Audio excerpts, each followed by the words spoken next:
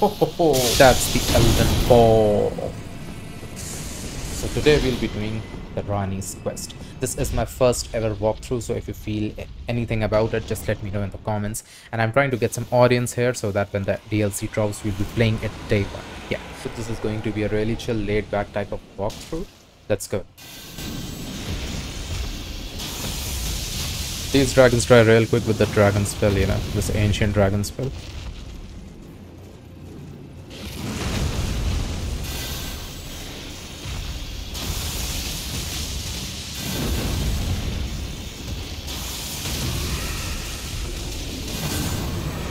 There we go, there.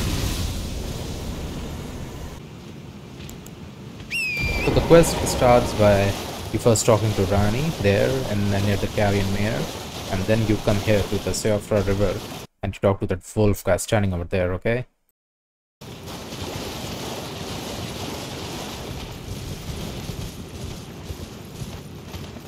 Good to see you.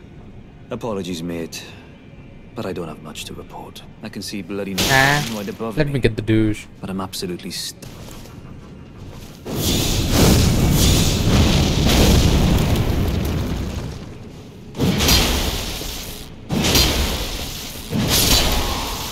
Apologies, mate. I can see bloody Nokron right above me. But I'm absolutely stumped. I've tried all the gateways, to no avail. Perhaps it's time to ask Seluvis. Time to go and meet Seluvis. Task was left to you and the mongrel, was it not? Not only are you incompetent, but shameless to boot. Well, there's no helping it. Now's as good a time as any. I'll let you in on it. There's a glintstone sorcerer by the name of Sellen in Limgrave. She owes me for the help I gave her when she was expelled from the academy. I asked her to look into the matter some time ago. I'll write you a letter of introduction. Go ask her. You know, in this in this quest, there's a lot of going to this guy, talking to him, going to that guy, talking to him. I don't know if, the, if it was an Assassin's Creed, people would have just, you know, just done that. Sorry. It's a lot of fun, you know, to just go around killing people. I mean, in this game.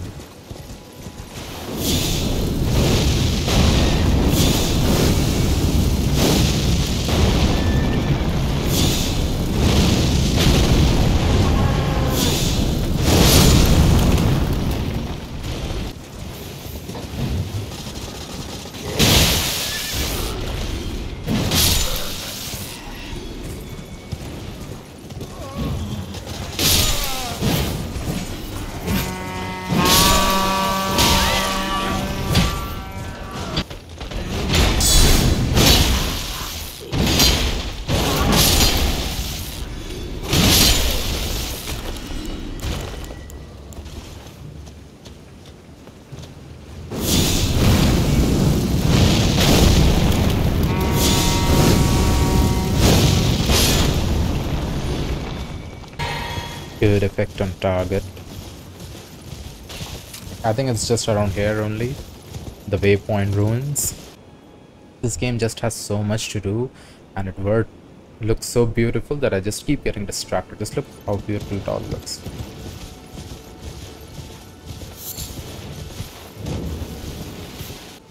There is someone inside, I think. I think a Bipcom. The pumpkin guy is there, I think.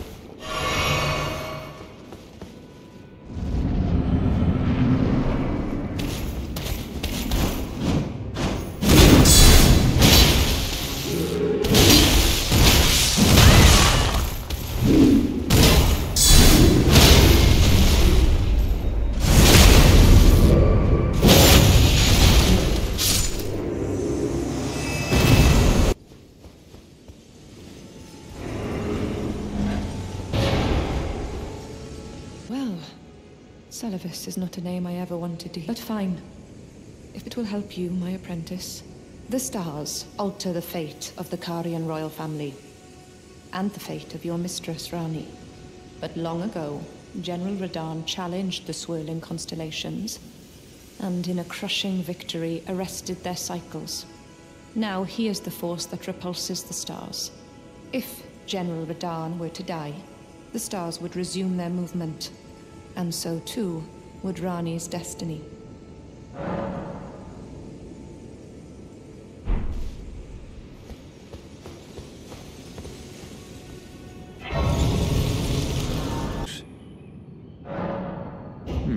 So Ranni's fate is kept in state. That reminds me of something. There's a festival being held at the castle on the southern edge of the Caelid Wilds.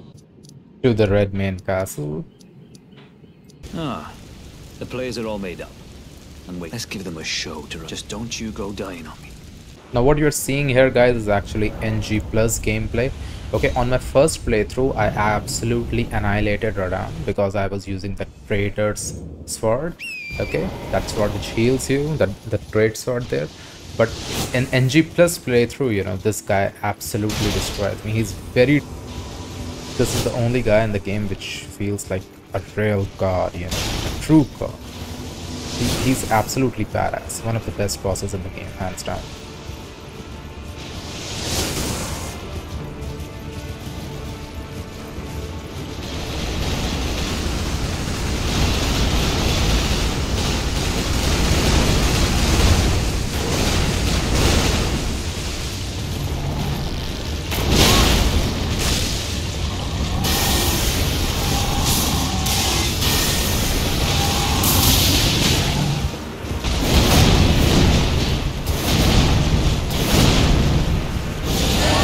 Time to remind him of his sister.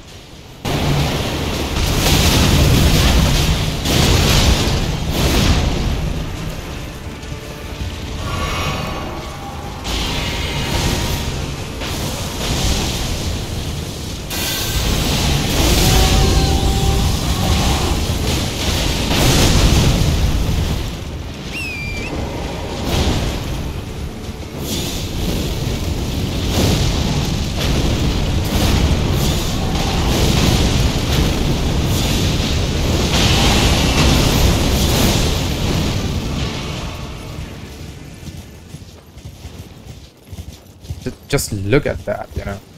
FromSoft's imagination is it's insane. It's absolutely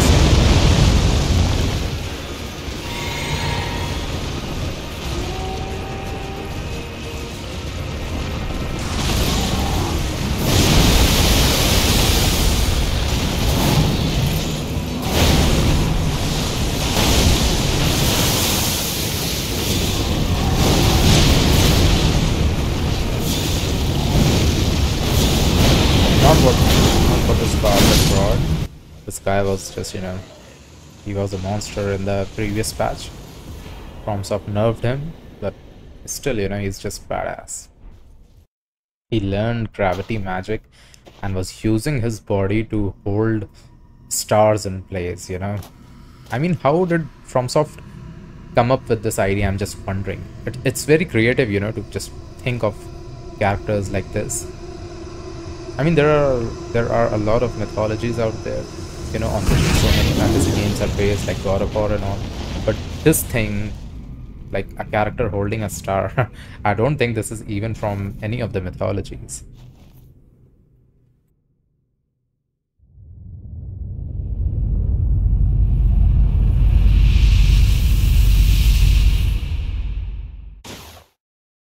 The glory of the clash is shared by Radahn and you.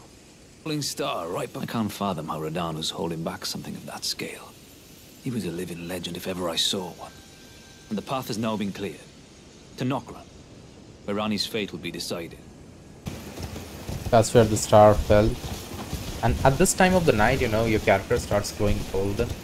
Can anyone tell me? I don't know what this indicates. I don't know what this means.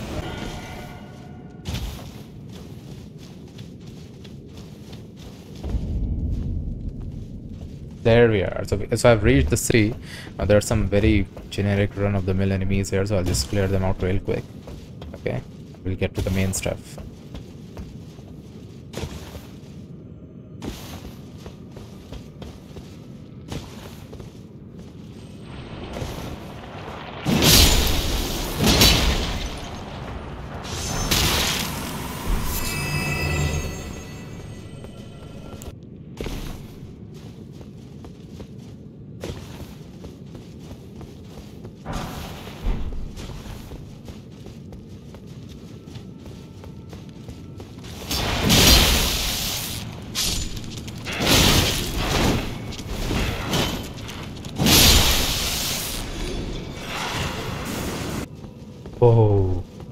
Look at that. You, you see these Eternal Cities that don't have sky. You, you see stars in them, but they don't have a sky. You must be thinking it's because they're underground, but no, there is a lore related reason for this why they don't have a sky. It was actually stolen by a monster, and we'll be fighting that monster, okay?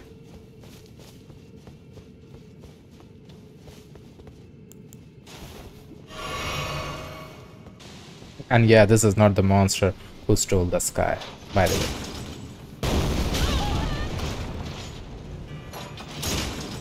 this is a, essentially my copy you're seeing, it's the Mimic Tear, and you're fighting your own copy. Uh, one thing, uh, all of this reminds me, you know, of those old gen NES games, and you know, those PS2 era games in which, you know, devs often used to do that creativity thing that by the end of the game you often used to fight a copy of your character. If, if you remember there was that game double dragon on nes and in that game what used to happen is that towards the end we used to fight copies of our characters. So FromSoft takes a lot of good pieces from old games you know and put them in their games. That's what that's what i love about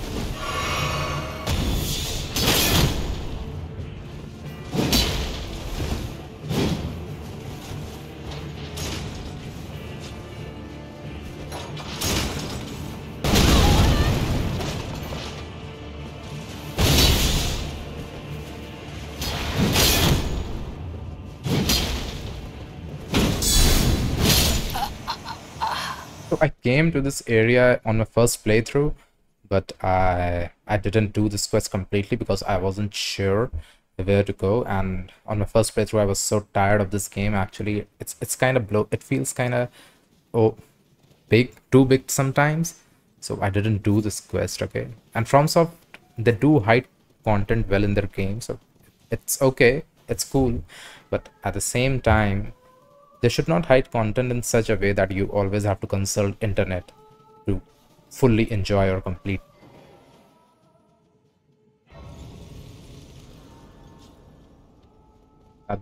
This wasn't a, at all intuitive. I mean, if you are into Souls games, you can pretty much easily guess this, that you have to jump here. And as I guessed it right now, uh, i mean, I'm not really consulting a wiki side by side, but still, you know, it's pretty unintuitive on my first playthrough what I did is I went straight through for some ancestral spirits you know and reached that uh, another city I think yeah, where you do the Fia's quest. But yeah I didn't do I didn't get this. I did some hard I did some hard work to get this shield and it's really really paying off you know. You, you, you can find it in the mountain top of the giants okay. It's, it's in a big garrison it's unmissable. You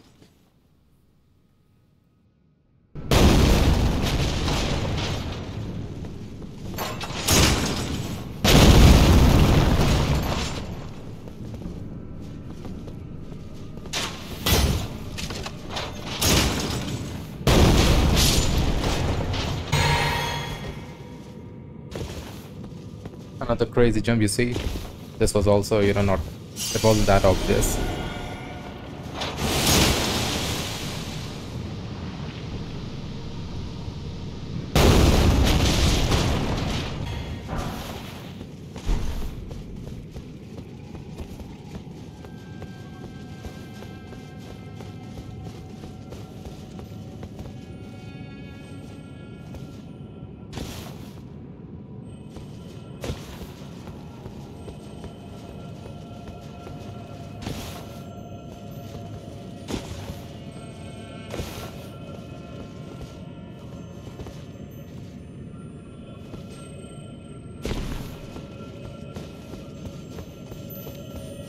not a lot here so i'll be just fast forwarding this there was a lot of fighting there so that's why i didn't cut it from the video so if you want to see it you can see it okay so many of these so many of these big ass naughty balls here And in in previous Souls games, they were usually controlled by someone, like a giant would be throwing them at you, something like that. But in this game, they just completely went nuts. They are self-animated. Okay, maybe the ancient civilizations had that magic to animate a big ass ball. One thing about elden ring is that if you have played previous souls games if, if you are a newbie to these games you'll be you'll be in love with this game and all i don't know. But if you have already played a lot of souls games uh, you will sometimes think of elden ring as every souls concept cobbled together okay? It sometimes doesn't feel that original okay? What i wanted from FromSoft was a sequel to Sekiro. Instead, they gave us this game. It's not that I'm hating it, but uh, you know i think fromsoft really need to get more original now before they make their own formula generic. Okay. All these cities about which you don't know all this cryptic dialogue. My thanks. Soon must i begin my journey big bosses everything everything about these games it's all good and fun but it is nothing new or original for someone who's playing Dark Souls for the past, you know, since the time Dark Souls has been around. Dark Souls has been around since the past 10 years or so. So yeah, they, they really need to do something about this formula. I still haven't played Armored Core. If you want me to play that, I'll I'll absolutely buy that anyways. In that city, we found an artifact. Okay, yeah, near the there near the fight where I where I was where I was fighting that giant. It was there, okay. And after finding that artifact, we have to give it to her, and now she has said that she wants to go on a journey. But then I checked the wiki, and we have to go to yet another city. Okay. Oh, they're riding ants here. This shield is the most insane troll object in this. It's it's awesome. I still haven't used it in PvP, but I think you can just you know bait someone to attack you and then you can literally misuse it a lot. So after some hopping around you'll eventually end up here in this lake. And as you must have remembered everyone was hyping up this lake a lot. It's the lake or whatever. But you can really very easily go across it okay it looks very cryptic and ancient and awesome. There is a lot of imagination and creativity here.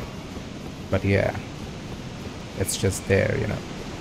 There's not a lot of gameplay element here to this lake. You just spam a spell, that's it. This place looks like it's Anor Londo, but more evil, you know. just look at the AI. Hit that guy, and he's not tracking the source of sound. He's going towards his dead dude. You you hit this one he goes there. You hit that one he goes there.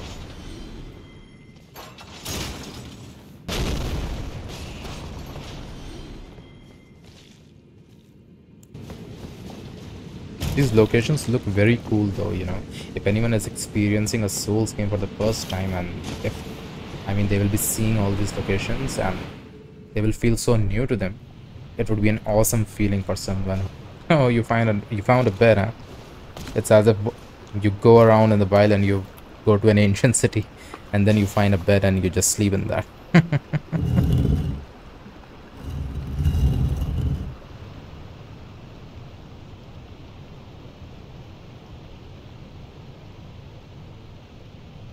and then you wake up in a random location, you know. This happens to me also that I sometimes sleep in my bed, but then I wake up in someone else's bed. oh, look at that gate, you know. So now we are going to fight that guy who stole the sky, okay? And this is one of the coolest bosses in this game. And that this is the main reason why I'm actually doing this quest because I had to fight this guy. He's actually also there in the trailer, okay? And in the trailer for Elden Ring, they highlighted all the important things, all the important uh, aspects of the game, and this boss was there in the trailer too.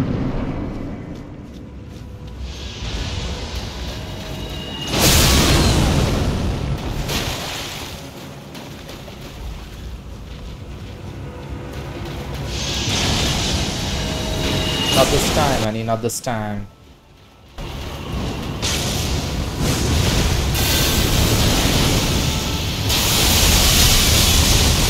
Oh! I wish that power was there in the game where you can just, you know, slam people in the ground.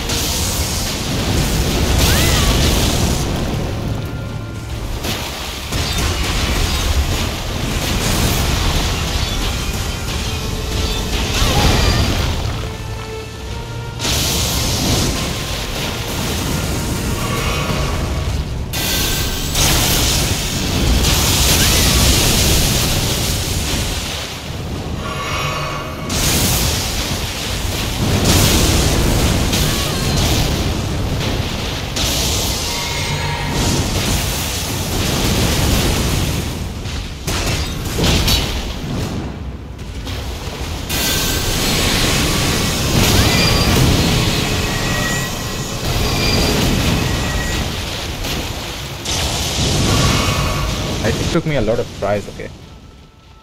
At this spell, I think spamming the spell is the best way to kill large monsters in this game. You saw initially how I killed the dragon, okay. So guys, that's it for it. If you like it, please do let me know and I'll do more walkthroughs, okay. Next time there will be more structured. This is just my first time doing a walkthrough, so I'm just testing the waters here. Okay, so please do let me know if you want more of this stuff. I'll be happy to bring it.